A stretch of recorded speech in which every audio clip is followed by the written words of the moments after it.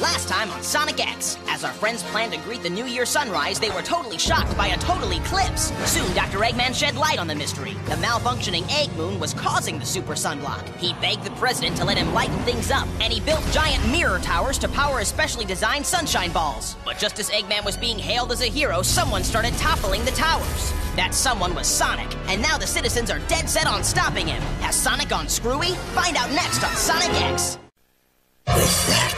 Infinity Sword, I will rule